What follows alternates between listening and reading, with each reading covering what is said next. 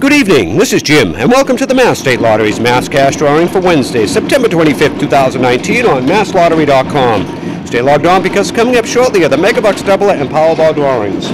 Now let's see how you did in tonight's Mass Cash Drawing. Our first number up is number 11. And rolling right behind that, we have number 4. And here comes number 14. Up next is 22. And the final ball in the sequence is number 5. Once again, the winning mass cash numbers for Wednesday, September 25th are 4, 5, 11, 14, and 22. We'll see you shortly for the Megabucks Doubler and Powerball drawings.